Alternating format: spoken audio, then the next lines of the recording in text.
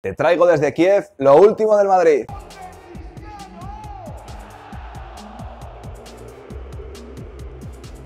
¿Qué pasa chavales? Bienvenidos a un nuevo vídeo en la previa de la final de la Champions League entre el Real Madrid y el Liverpool. Estoy aquí en Kiev, donde anoche ya llegó el equipo y donde Zinedine Zidane solo tiene una duda que os voy a resolver en este vídeo. Antes de ir con eso y con mucho más, te recomiendo que te suscribas a mi canal para tener información sobre el Real Madrid todos los días. Caluroso recibimiento el que tuvo el Real Madrid ayer por la noche a su llegada a Kiev después del viaje desde España. Más de mil aficionados, como habéis podido ver, estuvieron arropando al equipo de Zinedine Zidane. Se espera que el grueso de aficionados del Real Madrid lleguen entre hoy y el propio sábado del partido. La gente del Liverpool se empieza a hacer notar ya por las calles y ya parece claro que van a ser bastante mayoría. Lo que va a pasar en el campo es que Zinedine Zidane solo tiene una duda en la alineación y parece que la decisión final se reduce a quién poner, si a Karim Benzema y repetir la alineación que le llevó a la gloria en Cardiff o dar la titularidad a Gareth Bale, quien es probablemente el jugador más en forma del Real Madrid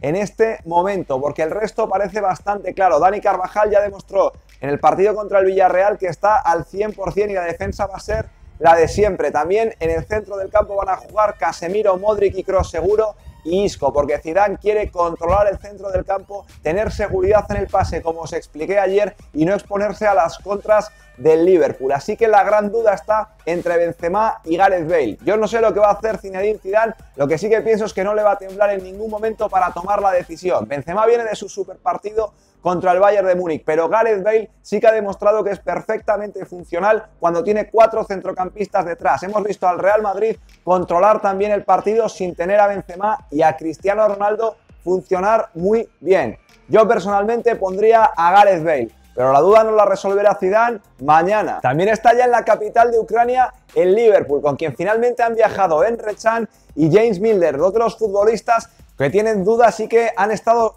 pasando procesos de lesiones. Parece ser que James Milner, el jugador inglés, va a estar seguro en el 11 inicial y la alternativa podría ser un Layana que también viaja y que ha estado lesionado últimamente, pero en el último partido ya pudo participar. Zinedine Zidane también se trae a toda su plantilla y el técnico francés no tiene ninguna lesión. Será bueno, interesante también ver de nuevo qué jugadores se quedan en la grada y ni siquiera se cambian, aunque este año parece que no habrá ningún peso pesado como James o Lucas Vázquez en Cardiff que ni siquiera se vistan de corto para estar en el banquillo. Marco Asensio es una de las grandes perlas del Real Madrid. Su fichaje está considerado uno de los mayores robos de todos los tiempos y así explicaba su representante cómo fue la movida con el Barcelona. Bartomeu sabe que se equivocó. Son cosas que ocurren en la vida. Se le pasó el tiempo y Florentino estuvo más rápido. Lo tuvimos todo cerrado. No creo que nadie se haya dormido. El Barça estaba metido en juicios, con Neymar de por medio y lo dejaron pasar. El Barça reaccionó cuando ya era tarde y no se podía hacer. Asensio es una de las piezas más codiciadas del mundo en este momento. Incluso el verano pasado vinieron con mucho dinero a por él. ¿Quieres saber con cuánto? Te lo dice su representante. El Madrid ha recibido dos ofertas por Marco Asensio, de hasta 150 millones de euros, pero el club las rechazó. Tiene un futuro extraordinario.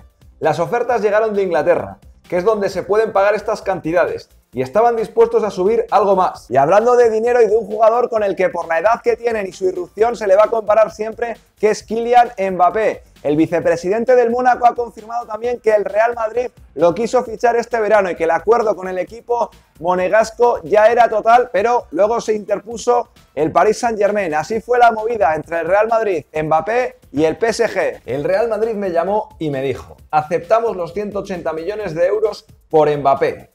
Vi a Kylian después y le dije, recibimos una oferta imposible de rechazar. Es del club de tus sueños. Piénsalo bien y cuéntame tu respuesta él me dijo, quiero ir a París. Ahora chicos, os quiero lanzar dos preguntas aquí con la ciudad de Kiev a mi espalda. La primera tiene que ver con el partido y es, Bale o Benzema, ¿a quién pondríais? Y la segunda, una que me hicisteis en el preguntas y respuestas que publiqué ayer. ¿Cambiaríais a Asensio por Mbappé? Os leo en los comentarios. Bueno chicos, hasta aquí el vídeo de hoy. Me voy a ir a dar una vueltita por Kiev a ver si consigo poder hacer un directo algo desde, desde el centro y para traeros un poquito el ambiente. Mañana habrá por supuesto más contenido después del partido.